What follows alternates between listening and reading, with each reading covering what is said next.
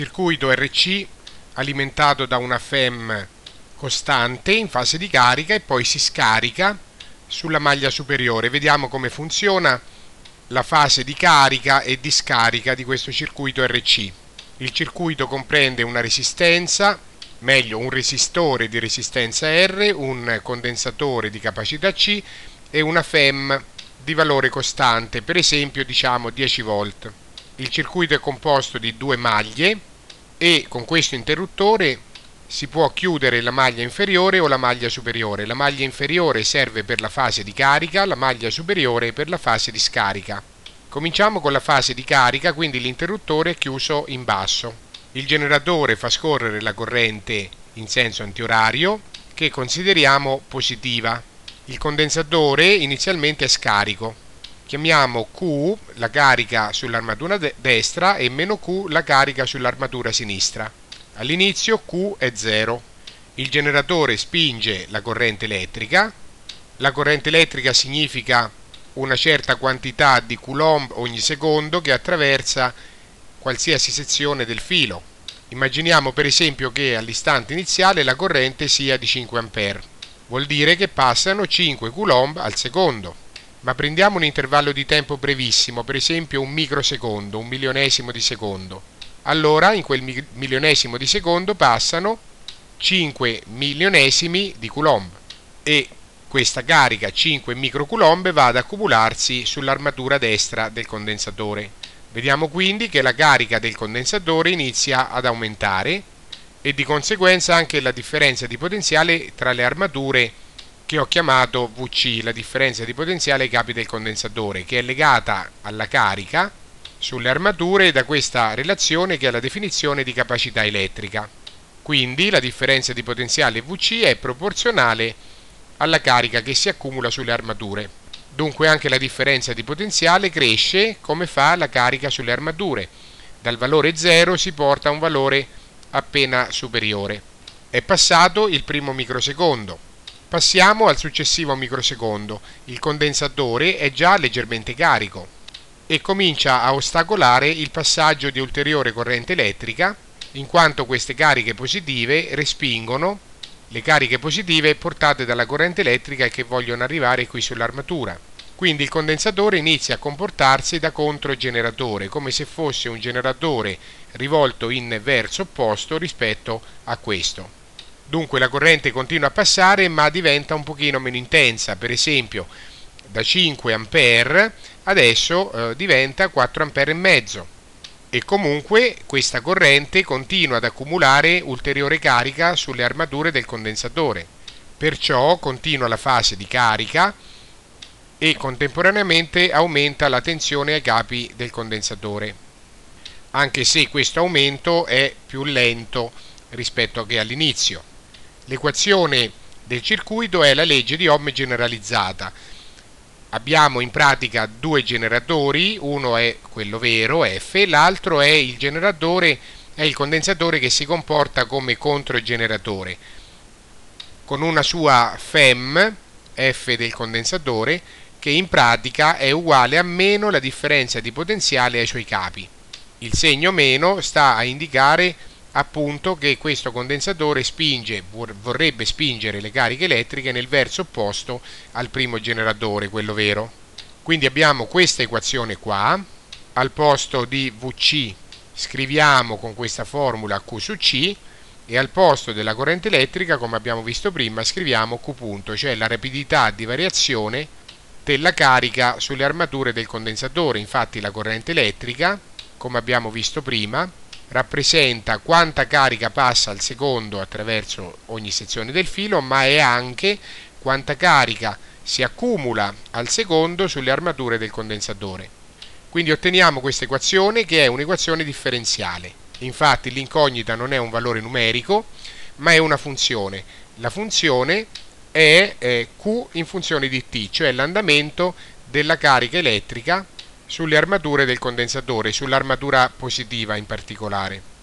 Equazione differenziale perché compare l'incognita che è una funzione e compare la sua derivata. Quindi c'è questa funzione del tempo, ma anche la sua derivata è funzione del tempo.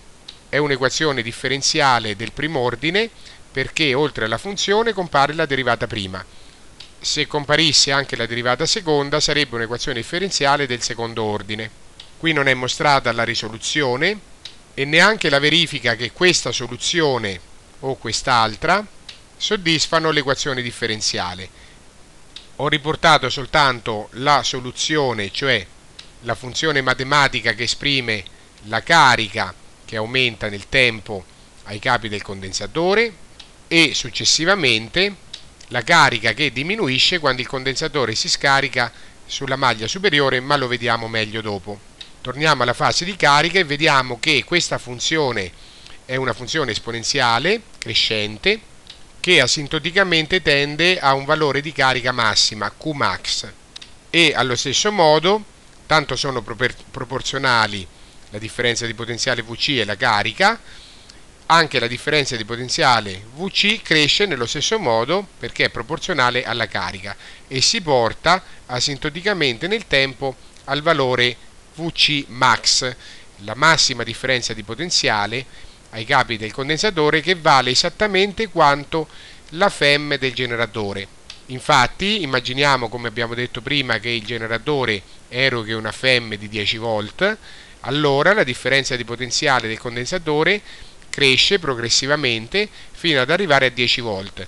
A quel punto il eh, condensatore blocca ulteriori passaggi di corrente perché si comporta come un controgeneratore che ha la stessa, diciamo tra virgolette, fo forza, ha la stessa forza elettromotrice in, eh, in modo rigoroso eh, rispetto al generatore vero. Quindi quando la differenza di potenziale capi del condensatore diventa di 10 volt come la FEM del generatore, il condensatore è in grado di bloccare ulteriore passaggio di corrente elettrica e quindi il condensatore non si carica più di così, la, la, la carica elettrica raggiunge il valore massimo e anche la differenza di potenziale raggiunge il valore massimo che appunto è F. La fase di carica eh, espressa in termini di differenza di potenziale ai capi del condensatore assume una eh, forma matematica identica alla eh, funzione di carica che abbiamo visto prima con la differenza che non c'è più la carica ma c'è la differenza di potenziale ai capi del condensatore e il valore massimo è F. La carica massima, eh, il suo valore, lo ricaviamo da questa formula, è C per VC massima, quindi C per F, come indicato qua. Il significato della costante tempo tau, che eh, si dimostra risolvendo l'equazione differenziale essere R per C, il suo significato fisico intuitivo è eh, dare una misura orientativa di quanto è lenta eh, la fase di carica di questo circuito. Infatti se andiamo a sostituire eh, al posto del tempo il valore tau, quindi per t uguale a tau, il valore della carica, il valore raggiunto dalla carica sul, sul condensatore vale Qmax per 1 meno 1 su E. 1 meno 1 su E vale circa 0,63 e quindi tau è quell'istante di tempo in corrispondenza del quale la carica del condensatore si è portata da 0 fino a circa il 63% del valore di carica massimo e la stessa cosa vale per la differenza di potenziale ai capi del condensatore che a partire dal valore 0 eh, in un tempo tau si porta al 63% del valore massimo di per esempio 10 volt nell'esempio di prima.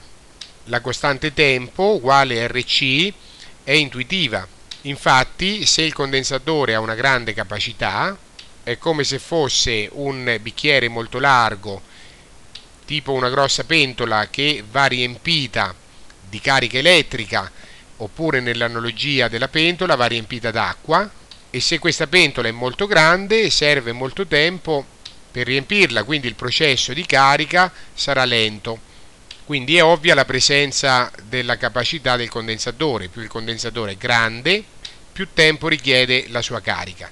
È intuitiva anche la presenza della resistenza perché un resistore di grande resistenza limita molto il flusso di corrente, quindi fa passare poca corrente. È come, tornando all'esempio del rubinetto, con la pentola sotto, è come se io avessi una grossa resistenza che mi fa fluire soltanto un filo d'acqua cioè dal rubinetto scende un filo d'acqua e quindi la carica è molto lenta, eh, avviene in molto tempo la carica completa del condensatore e come avviene in molto tempo il riempimento completo della pentola con un filo d'acqua.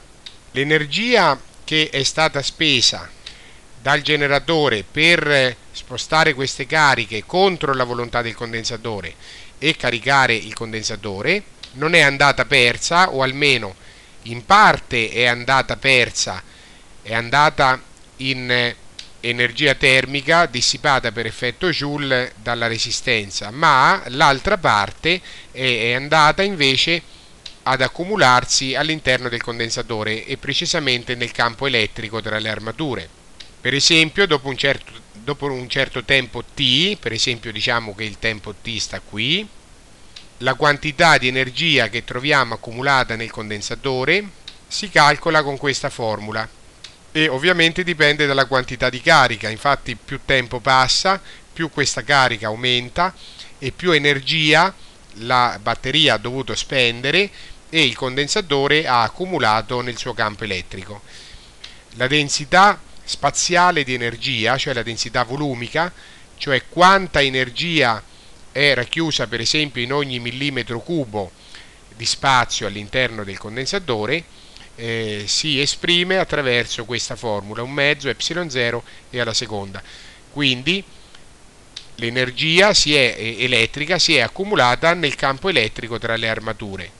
Più il condensatore è carico, come abbiamo, come abbiamo visto prima, più energia accumulato, più è intenso il campo elettrico tra le armature e quindi più densità di energia nello spazio c'è qua in ogni millimetro cubo di spazio. Passiamo ora alla fase di scarica chiudendo l'interruttore sulla maglia superiore. Il generatore viene escluso dal circuito e si comporta da generatore il condensatore adesso, facendo passare la corrente elettrica in questo senso, in quanto l'armatura positiva scarica le cariche elettriche e le riporta sull'armatura negativa. Progressivamente il condensatore si scarica a partire dal valore massimo Qmax che aveva eh, raggiunto durante la fase di carica precedente. Anche la scarica è una funzione esponenziale che ha la stessa diciamo lentezza o rapidità che aveva la carica, nel senso che la costante tempo tau è la stessa Infatti questa costante tempo compare in questo esponenziale come compariva nell'esponenziale precedente. La differenza è solo che questo esponenziale era una funzione crescente, ecco perché 1 meno e alla meno t su tau, mentre invece questo esponenziale di scarica è decrescente e quindi e alla meno t su tau. Se andiamo a sostituire al posto del tempo generico t il valore tau, troviamo che eh, la carica vale Qmax diviso E.